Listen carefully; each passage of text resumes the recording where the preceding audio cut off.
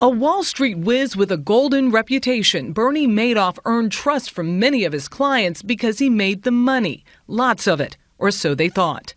I mean, would you think this was a fraud? In the 1970s, Joyce Greenberg was a single mom. Her investment with Madoff helped to put her two children through college and graduate school. I am very appreciative of the success, and I'm absolutely shocked and appalled by what has occurred this week.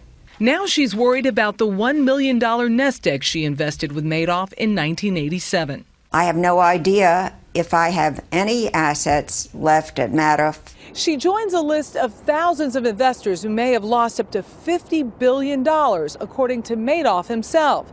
The former NASDAQ chief allegedly confessed to his own sons that his investment business was a fraud. Oh.